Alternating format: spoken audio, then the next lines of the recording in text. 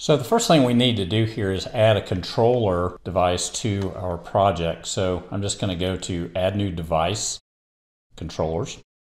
And then under S7 1500 CPU, I'm just going to add a 1511 PN. And I'll just add the first one. There's our description. I'll click OK. And it's going to add it into the project. So when we click on this and go to properties, it's going to allow us to set an IP address. Now I'm going to simulate, in this case, the PLC as well as runtime device. So I don't have to be on any particular network or IP address scheme here because I'm not actually hooking up to my physical network. It's all going to be virtual. So uh, I'm going to set my PLC to dot three so 192.168.0.3. Then going back to our network view, I have to add a communication card to our runtime PC. And so going over to our catalog, under PC Systems Communication Module, I'm going to add a CP1623 and I'll just drag it up and drop it. Same thing here, it's going to default to 192.168. I'm just going to make that 5 and save that. And then we need to connect these up. So under network, I'm just going to drag these two together and it's going to just create a network. And then I'll go to connections and we're going to do the same thing once connections there and we're just going to create a, uh, an HMI connection. So I'm going to save that and then going down to our runtime module under connections, you will see our connection there and it's got our IP addresses. Now notice that we're using the S7 Online access point. We have to go to our PGPC interface and make sure that S7 Online is hooked up to something that we can have a virtual network with. So I'll pull up control panel and you can search for just PG and find it. That's the quickest way I've found to find PGPC interface. And notice that I have S7 Online set up to the Siemens PLC Sim Virtual Ethernet adapter. You need to do this because we're going to be simulating this and that is going to be something that is network. Make sure that it's like that. So now I want to go create a PLC tag and just make sure that we're communicating. And then once we do that, we can start creating our plant objects. So under our PLC, I'll go to our PLC tags I'll go to the default tag table and let's just do test tag. And I'm going to make this, let's just call it a dint. Let's just do a memory word and D0 is fine. Okay, so I'll save that and then we will come down to the runtime, go into our HMI tags, and I'll just use our color tag table and I'll add new. And I'll just create a tag called PLC test. And then for our connection, it should find HMI connection one. It knows that we're talking about PLC one, which is our new controller that we just added. And then under our PLC tag, I can just add my test tag. And we'll save that. And then I'll just go to my screen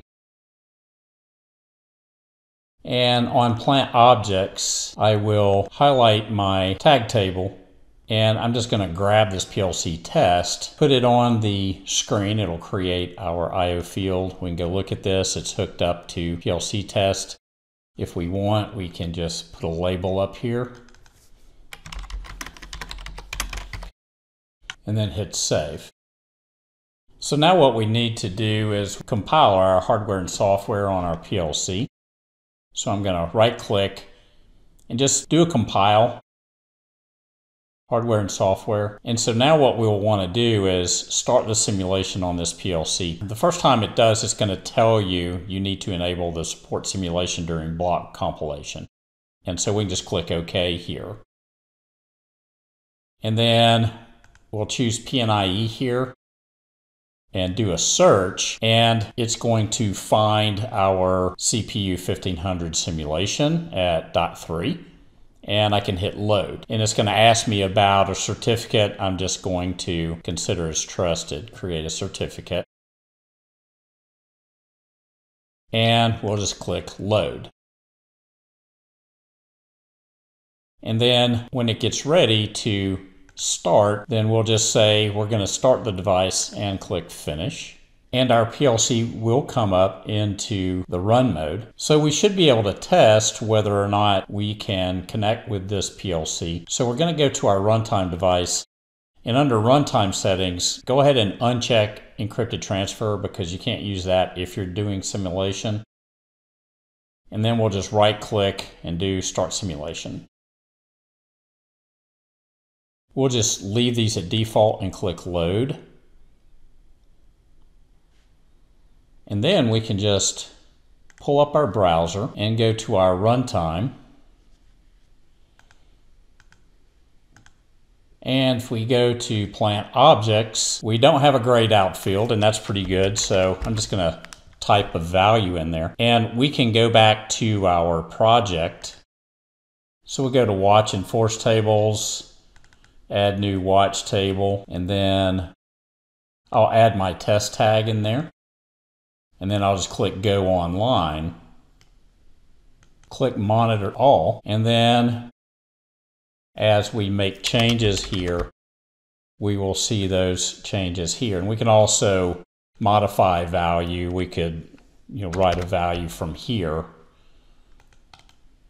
and just do modify now. And if we go back to runtime, it has modified it. So we do have connection with our new PLC and we can start to create our plant objects. So here's your first assignment. Complete the steps that we did in the video to get a PLC in your project and get a connection to a tag that you can test in runtime. If you have to, go back and rewatch the video if you have trouble with certain parts.